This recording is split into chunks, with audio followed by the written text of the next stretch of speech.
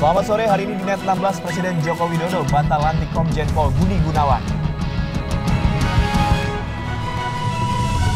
PT Kalbe Farma siap bertanggung jawab jika terbukti ada kesalahan pelabelan obat bius.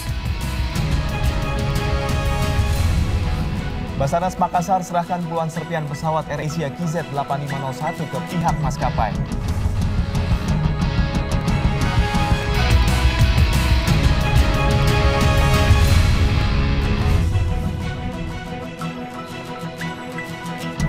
Rabu siang Presiden Joko Widodo pastikan tidak akan melantik Komjen Pol Budi Gunawan. Presiden mengusulkan Komjen Pol Badrodin Haiti sebagai calon Kapolri baru.